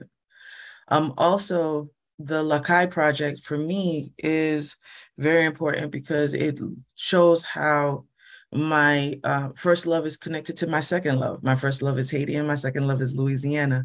So I feel that it's important for us to be able to show how we have maintained that bridge, preserve the culture, and how can we digitize moving forward because through the two experiences of Hurricane Katrina and the earthquake, I understand how important memory is and how our material culture plays so much in our sense of identity.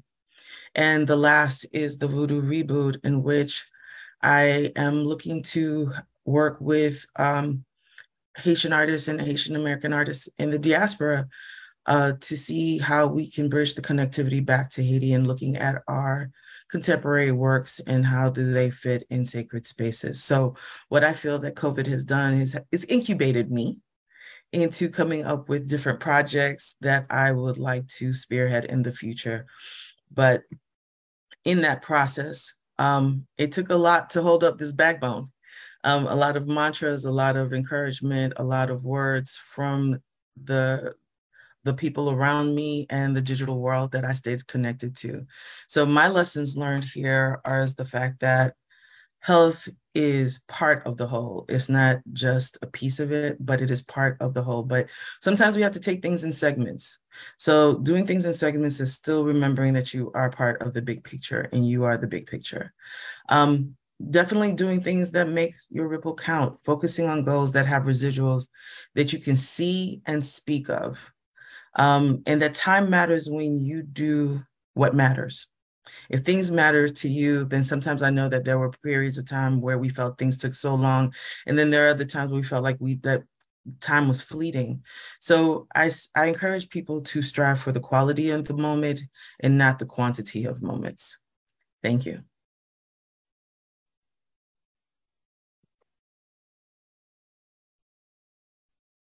Okay. Oh, Now we have um, Diane. Ok, so nous entendons um, Dr. Petrushka qui parlait de COVID et puis il dit que COVID prend li nan mi-temps défense doctorale. Et pendant l'époque COVID là tout, c'est là te gen yon exhibition, mais li pat même wè exhibition parce que te doué li te besoin changer, euh, li te besoin déménager, qui te côté le TEA, pour la retourner l'autre côté parce qu'il était venu en Boussière Melon. Um, apre sa li di ko sa ke li, um, se sa digital anling kote li publie peti li yo pou lte ka, ka konekte avek e peti li yo e pou lot moun te. Li Instagram kote li ap apren konen sa ki fe li se Haitien pou ki sa li et puis pour lui aider le monde pas senti au pour compte lui parce que dans zone côté la vivre là pas vraiment gagné un pile haïtien. Donc il peut pas rencontrer aucun haïtien dans zone ça. Il dit que ça tout ça qui est vraiment important c'est que prend soin de tête prend soin de tête tout c'est pas égoïste. Deuxième point il parlait ah, c'est que ou c'est pour prendre soin de tête tout parce que ça veut dire si vous prenez temps pour tout pour faire ça au remède, ce n'est pas égoïste. Il dit, pendant que tu as fait ça, tu as joué une connexion en dehors et en dans tête li, dans le sens comme si tout pareil la fait aider le connecter avec l'autre monde qui n'a même domaine avec lui. C'est comme ça li, apprend un pile bagaille tant préservation de données comme archiviste et puis li rencontrer monde fait ça veut dire li fait connexion professionnelle. Dans le troisième point, il parlait, il parlait qui ça lui fait pour tête li, qui ça lui fait pour tête li pendant COVID, il apprend pendant la fait erreur. Ça veut dire il apprend par li fè yon bagay, li fè ere, li fè loko, dek pa yon de fè yon. Um, li apren fè manje haisyen paske sa edel dekouvri nan ki nivou haisyen li. Sa vè di si si te gon eshel de 1 a 100, li apren fè bagay ki ap edel dekouvri nan ki bo li ye li menm nan eshel sa. Um, apre sa li de tout bagay sa yo edel li e li kreye yon formil de sikse. E formil de sikse sa li aplike li nan relasyon de mentor avèk proteje li gen l'ekol kote la travay la. Sa vle di deske li gen ta fè tout eksperyans sa yo, li itilize eksperyans sa yo pou li ede elev nan l'ekol li yo, pou li ede yo euh, um, fè exhibisyon, epi ede yo nan deme yo. Sa vle di yon relasyon mentor epi proteje. Apre sa, li ede bisnis moun noa paske sa impotant pou li apil, li bayo konsey pou yo grandi bisnis yo anling.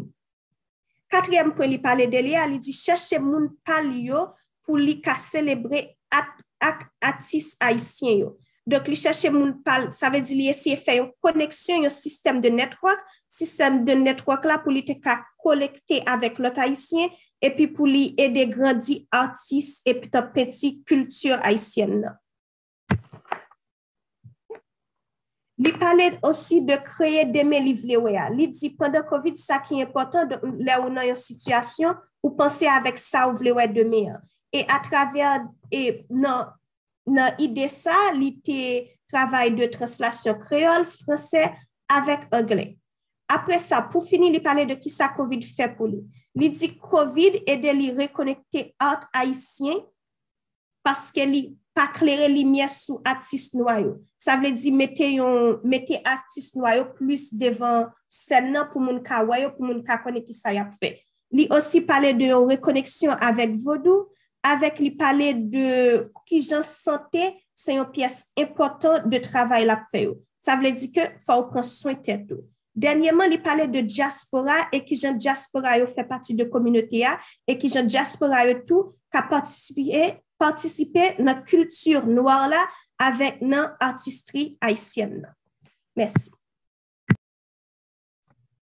Merci, Mikael. So now we are going to open up our questions with our panelists. So at this point in time, we invite everyone to, uh, if Elen could, uh, yes, thank you very much. Repost the, uh, the Google Doc. If you have a question for us in general or for the panelists specifically, we ask that you put your questions on the Google Doc so that we can keep everything in order. And uh, Egan will um, manage the Q&A um, after. So now I would like to um, open up the floor to Dr. Synatra Smith, who will lead us in the questions uh, for Dr. Jackson and myself. Thank you. Uh, fantastic presentations. I really learned a lot about both of you. It was great to hear what you all have been doing since the pandemic started and even a little bit before. Um, my first question is related to the fact that um, self-care, but especially in artistic practice, was a common thread throughout all of our experiences. So my question is, as we continue to transition into a sort of post-pandemic normal, and when I say post, I mean, you know, it may not really be after, but just like an Anno Domini situation in the year of our Lord, right? um, where uh, where we can get back to our routines of overextending and increased social socializing, as well as reaping the fruits of all of the seeds that we sowed throughout the pandemic. Have either of you thought about how you plan to bring that work work life balance with you into your next phase?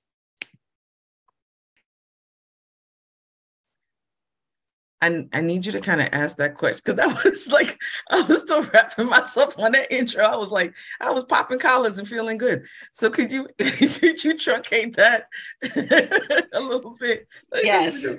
Yeah. So my question is basically now that we're kind of transitioning into a alleged post-pandemic world, how do you plan to bring your work-life balance um, uh, practice, especially the art, into the future so that you're not continuing the trend of the overextending and you know losing all of that work that we've been able to do within the past two years on ourselves to make sure that we're all right. Okay i'll go first. Um, i think for me is like making that dedicated time. Um like i i was i was saying to someone i do not regret the giving that i've given. I just wish that i included myself in the giving and so one of the things that I've done is made the art council, which is right next door with the gal with the the pottery class, which has other classes. So I'm gonna skip the pottery class, donate the donate my porcelain to somebody else, and move on to maybe learning something else because I think it's very important. I, I really do enjoy learning uh, I'm a lifelong learner. I do so too, but I stay in the parameter of a square, ladies. Uh, so anything that's a square, I can sew. but I do want to learn new skills, and I and I do think that it's important because what happens is it helps me to understand when my students are in the classroom and they're learning me, and they're learning the subject matter, and they're having a hard time with it, and I can relate to them and say, and I could be completely transparent without giving my personal information and say, look, this is what happened to me. And this is when I had to breathe and walk away and honor that. Um, I think that there's a lot of things that are no longer traditional for us processing that mental health um, that we used to exercise in the classroom before, right? So I don't get offended if a kid has to get up and walk away and, and capture capture the breath and come back in or they're lagging. Just understand that they have to be responsible of the information a bit. And sometimes some of the subject matters that i had brought across in the classroom i've had to excuse myself from the class and say you know what? It's a it's a tear shedding moment. Dr moyes is going to be in the in the hallway for five minutes talking among yourselves. You know just because we have to build that level of respect as we start to learn where that mental health is. So that's mine. Dr. Jackson. You're muted.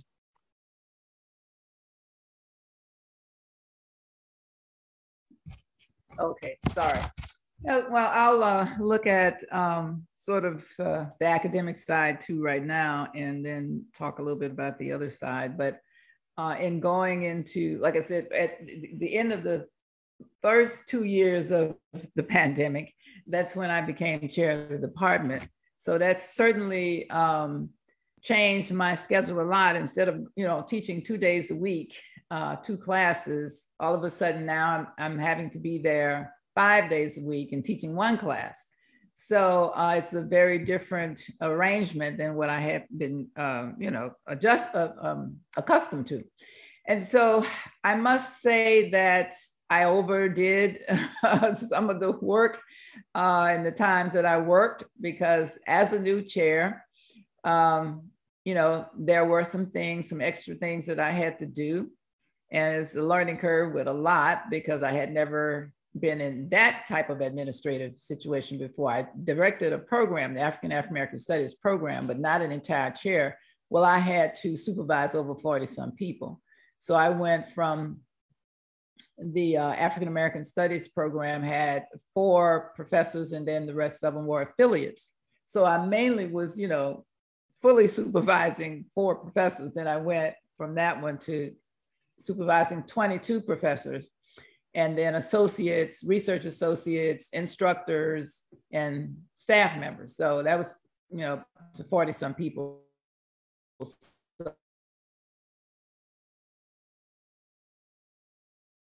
Um, and I felt that I needed to put in more time being there the six and seven o'clock, eight o'clock at night. Uh, but I promised myself, after I've been through that a year now, I promised myself that I was going to take better care of myself and um, and not stay there um, those extra hours because uh, normally the offices shut down at 4:30.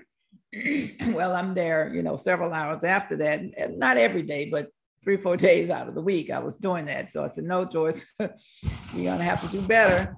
So I promised myself uh, and my creator that I wouldn't do that this year. And so I've started off pretty good. We don't start classes until tomorrow, but um, I already have my morning, my schedule that I intend to stick by because, you know, I have to keep, like say, we have to look at health first because if we don't have our health, we can't do everything else that we envision to do.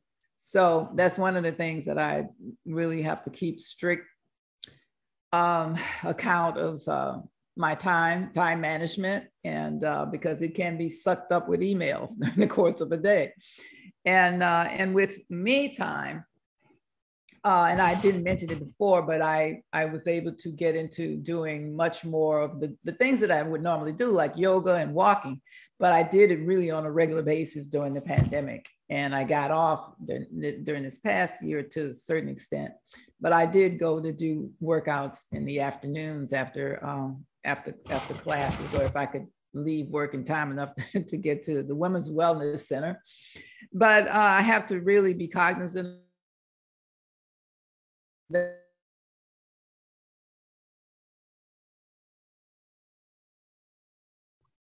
forget about self and you're doing everything for everyone else. So I really try trying to keep my yoga on a regular um, uh, at a regular time as well as my um, meditation prayer time and, and walking or whatever other exercise I'm doing. Cause I don't, I don't walk all the time. Sometimes I dance and do Zumba and things like that.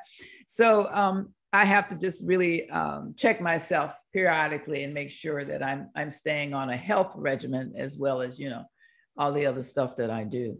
And one of the other things that came out of it was because I also have a nonprofit organization, and um, I was able to put more time into that and setting up things and doing websites uh, for that.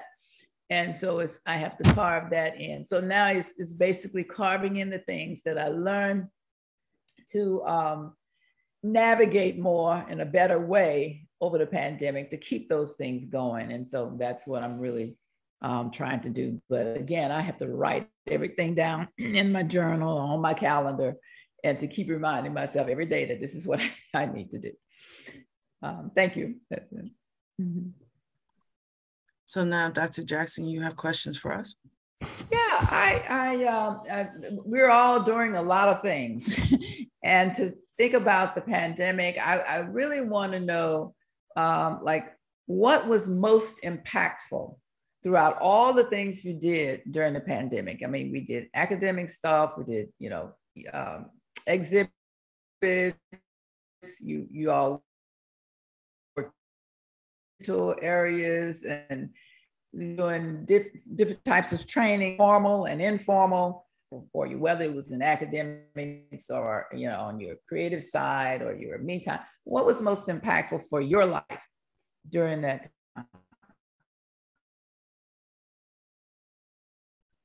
Synatra, you go first. So the, the thing that's screaming in my head, and I was I was I learned recently, go with your first mind, is mm-hmm. networking this whole fellowship has been about networking. All of the work that I've done with my professional association has been networking.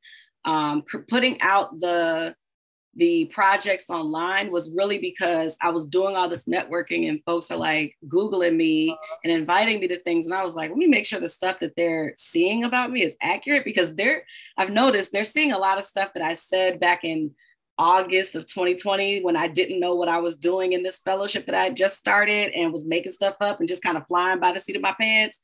And I'm like, mm, so I'm not doing any of that.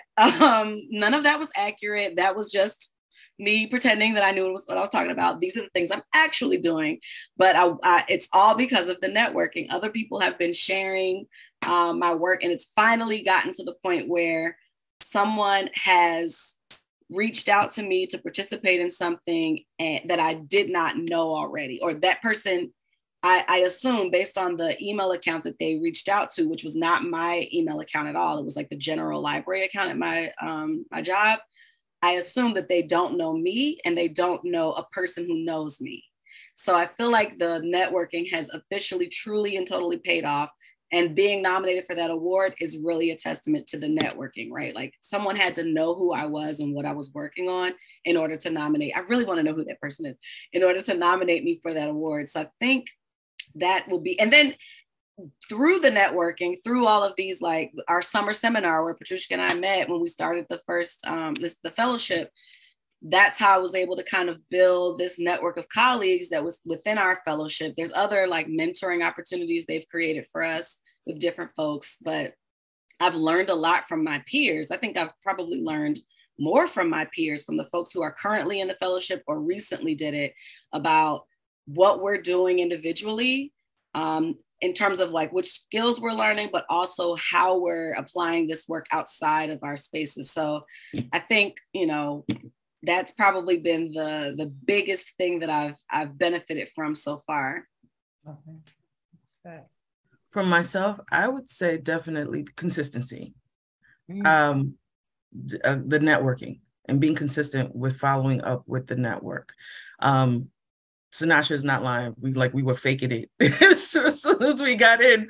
We the cameras was in our face and people wanted to know you know because we are supposed to be these experts and we're all going through imposter syndrome and um but i think for me it definitely was like when i started to take the road trip and see what the world was outside of my college campus and i just was like okay facebook family instagram family i'm jumping on the road you know who i am i don't have a sense of direction please you know like i took them through every storm through every hotel i rated every mute restaurant but then i started to meet people at, at point b and point c and point d and then when I started to know a little bit of something, and I started to build workshops. So this summer, um, we were bring, able to bring Jean Daniel Lafontant, who is a historian and a curator, and we were able to look at the Voodoo Pantheon and its impact on the arts. But I didn't just keep it to Grinnell. I, I brought him to the Figge. I brought him to all these places. Wherever I went before, I was like, now I'm bringing the talent with me so I could we could build on this relationship. So I do appreciate that they opened arms to me when they didn't even know who I was, but now I'm wanting to them to know that, you know, I want to keep continuing this relationship. I want to forge this. I want to build this this kind of pipeline of information. So it's definitely being consistent. I think that for me in my networking is just to make sure that I follow up and that um, that I'm letting people know what it is that I'm doing and what I'm working on. And like Synatra said, it's our peers you know, celebrating when they're doing something, being available, connecting resources. Um, you know, I I send things back to Dr. Dr. Jackson and be like, hey, I know you into this. And then she sends me things back. So I think definitely keeping up with the sharing is was very important in my lesson. Um, my question before we turn it over to the room, um, and it's a real quick question, which is that both you ladies, uh, Dr. Jackson has had years of hiring, and now that she's the chair, uh, congratulations, of the department. And uh, Synatra is Synatra acts like she doesn't. She's not the boss, but she really is the boss. Um, but in the hiring process, as we start to look forward into how the COVID has changed the dynamics, how has that changed the dynamics of hiring for you or what you look now in working with teams and working with people what are some of the talents that you feel are now weren't valued before covid but now you see them as assets to uh, workforce development? Well i'll go first. Um, and I have to look at it from both ways, from my, my faculty as well as some of the people that we have tried to hire over the years. Uh, well, well, my one year as chair, but in you know as being a professor too, just to see some of the things that have changed. Um, and uh, of course, we all know that DEI, diversity, equity, and inclusion um, uh, world is here, although it has been there, but people are more focused on that now. And and uh, so I had to do that and had to make some requirements for my faculty. I mean, before I came in, I saw we tried to do quote unquote diversity hire. And um, there was some reluctancy with, with some of the faculty members. And uh, I, and and so I when I look at diversity, I go. I mean, I, am looking at it in the broader sense. And um, there was some really uh, kickback in, in some folks in my department. And so when I became chair, I made it mandatory that all people who, particularly those that are going to serve on, um, on search committees, have the diversity training, uh, the DEI training. And, um, and, and the other thing I did was to put an DEI advocate on the search committee. I mean, we have the, you know, we, you have to look at my department. It's a joint department of geography and anthropology. And so on my search committees, even if we are trying to hire geography, we also put anthropologists on the search committee. If I'm hiring an anthropologist, I also put geographers on the search committee.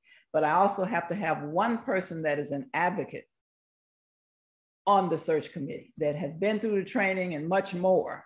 And they know the, the things to look for, they know the, they know the triggers and all of that is very important these days with the hires that the hires that we're doing. Well, it's been important, but now, of course, now we can focus on have these things in place. We you can actually get the training. You can't say I didn't know. You can't say that anymore because um, not only do I require my uh, faculty to have the training, but I mean, I bring the training into them. We just had a one day retreat yesterday for all my faculty members. I brought in a Title IX person to speak to them and give them a workshop. So they cannot say, well, you know, I haven't had that yet. I didn't know this. I didn't know I was supposed to be a reporter. But no, I'm bringing them to you. You're here. I want to make sure that you have this training. And so you don't just leave it at, you know, because you leave it to them, some of them won't do it. Um, they don't believe it's you know not saying that they don't believe it that that it is important but they focus on their research they focus on their whatever and they just won't take the time to do it sometimes. So that is one thing that i've had to put in place as far as you know hiring the hiring situation and looking at different candidates. And uh, and and frankly you know my my department is one that really needs to to um you might say to come to another level on that because over the years, and like I said, it's 93 years old, they never even had a woman chair. So what do you think that what what does all that mean? You know, so I had to come in putting things in place, you know, and because dealing with diversity has in various ways, you know, people of color, women, handicap, you know, the whole bit, uh, you know, the broadest um, definition of diversity. And so that's what I had to come. That was my first, in my first step, you might say, in coming into the department. I let them know this is what's going to happen. And um, so that's where I had to deal with it from the beginning. You know, and they will have some more. I mean, we did uh, Title IX yesterday. And uh, for the first faculty meeting, I'll have a person coming in from the DEI office to do that. Members can say that they did not have training. Okay, so that's just one thing. Um, okay, and then we have Synatra, and then Mikhail has her hand up. So um, I've been on several committees to hire interns and fellows at my institution. Um, and often I feel like the representative of the Negro delegation, and so I behave as such. Um, I'm usually the only Black person on the committee, um, maybe even sometimes the only BIPOC person. So I'm always looking with that DEI DEIA lens. Um, and the way that that's kind of manifested is when I'm reading someone's um, cover letter or their essay, if there's one required for the position, I'm looking for them to have a more mission driven interest in the work rather than just PMA is a huge institution, it's nationally recognized, and so it'd be great to work there. We all know that. That's easy. You don't even need to include that in your essay. Just tell me why you're committed to the particular work that you're interested in doing. Um, because there's been a lot of folks who have been given the opportunity to work there, particularly as permanent staff, but even through internships and fellowships, that um, I'm not sure if they appreciate the opportunity the way that the rest of us would who have been um, tr- historically excluded from that institution between the work that's on the walls and the folks who are putting that work on the walls. Um, I'm also uh, interested in folks who may have limited experience because, you know, as interns and fellows, they might be undergraduate students, they might have a degree or two, but they don't necessarily need experience. I just want them to be hungry for a skill set. And I like to, as a person who they may work with, be flexible in what skill sets they may be able to, to use. So even with the fellowship that um, I'm the primary mentor for at Temple, um, the first year we kind of had a more specific project for them to work on. But the second year we're like okay we're going to build on this but we want to know what you're interested in doing. We can introduce you to some of the things that we already know. But if there are specific things that you learned in your training that you did the month before the fellowship or just things you're interested in general let us know and we can kind of pivot and move in that direction um, i try to be flexible with uh, communication styles um, I do not believe in weekly meetings. I think that is too often. I don't want to be in a meeting every week, and I don't want to have to manage someone who requires a meeting every week. So I'll, I usually stick with a biweekly meeting cadence and then introduce them to Slack if they're not already familiar. And then, of course, email is an opportunity. And then, in order to work with me personally, which isn't always the case, but if they're going to be working with me, they need to be they need to understand that what we're working on are projects that are specific to Black art history, culture, all of that. I use the FUBU model, forest bias. I'm not interested in things that are about Black folks that were created by someone that's non Black. I really want Black folks representing ourselves. And I'm working with art for the most part. And so that ends up canceling out a lot of folks who are making work that depicts Blackness. And a lot of my colleagues are sometimes questioning that, like, well, why aren't you including this artist? Because that artist is not Black. And so I need my any intern or fellow who works with me to understand that that is how I roll. And if you're not okay with it, then you may not want to work with me. You don't have to be black. You don't have, an, have to have an expertise in black things, but you need to know that this is the work that we're going to do. So that's kind of what I'm uh, looking at. I'm not on a, any official hiring committees, so maybe my answer would change a little bit if that were the case. But for interns and fellows, that's kind of where I'm at right now. And she thought she wasn't a boss. Okay. so we have one question uh, we can take before we have to end today. Uh, you had your hand up. Oh, yes, I was just putting out that we have a question in the chat. Um, we have a question for Dr. Joyce, and then we have one question, um, one question, I take it apply to everyone. So do you want me to read it for you or are you going to, is it fine? Uh, go ahead, read the question for Dr. Joyce. Okay, um, the question to Dr. Joyce said, regarding the ethnographic work that you assigned to your undergraduate student, did your student conduct any interviews via Zoom? Was there anything that your student learned while conducting those interviews? Yes, um, uh, like I said, we had to sort of pivot in how we do field work. And, um, you know, that was an experience within itself because, you know, of course, you normally go out and you're face to face with the person. And then they had to, you know, do it in, a, in alternative ways.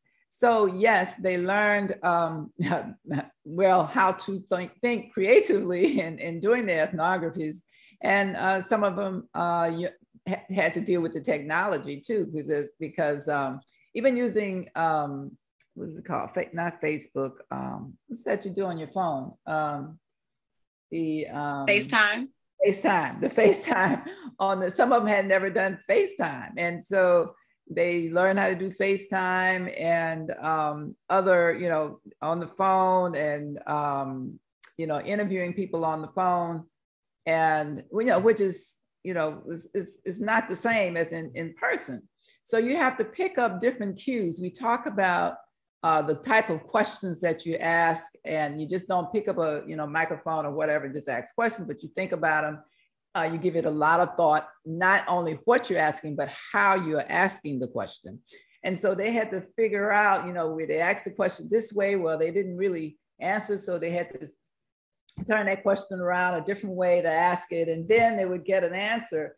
So they had to, you know, try to figure out what was best for that particular person that they were working with because the, the same type of technique doesn't work with one is the, that you, you, use with this one doesn't work with the next.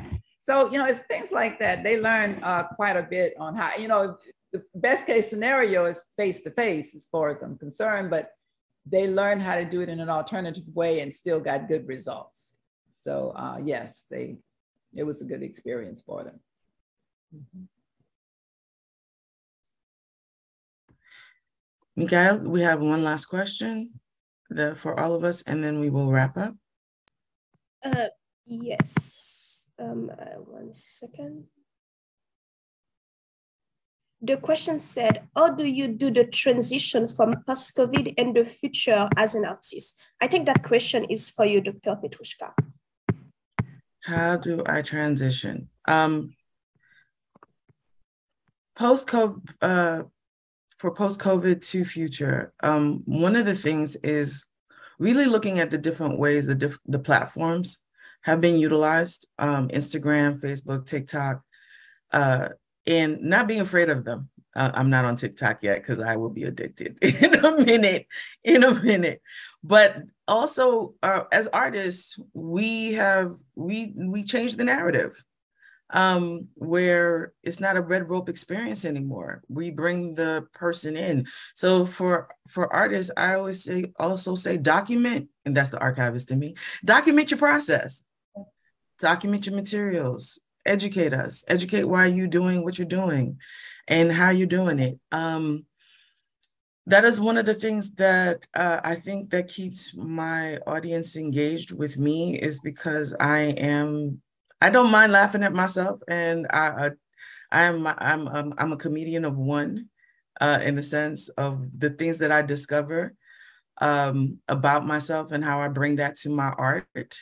Uh, quick short story. Uh, one of the things that happened is when being here and somebody knocking on your door like you owe them money and that's because my doorbell didn't was stopped ringing and they had to knock on the door well uh, I live on a second floor walk up. So to walk down the stairs, the first thing I grabbed was a machete. So I was like, you know what? This makes me very Haitian right now to answer the door with a machete. But I, I looked at that as a way of, you know, also looking at metalwork and looking at the arts and thinking about that in my future work. And I was like, this is a great story to talk about how I got to where this piece is going to end up being.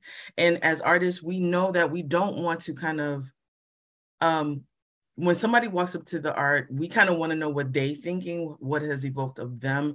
But sometimes art appreciator, uh, people who appreciate our art, our people who collect our art, also want to hear the backstory of what made us make what we made, you know. So um, I definitely tell people, you you're your own best narrative. Um, not to say that we don't need the critics and we don't need the historians and we don't need the scholars, but nobody could tell the story better than you can. So look at that as your future. So um, I'm going to say thank you to everyone who, well, five minutes uh, over time. But I want to thank everybody who was here with us today. Um, I want to thank you, Haitian Studies Association, for hosting this. Um, I thank uh, Irene for challenging me to have this uh, discussion today. Um, I hope that everybody has a blessed day. Uh, and of course, think creatively as we move forward in COVID.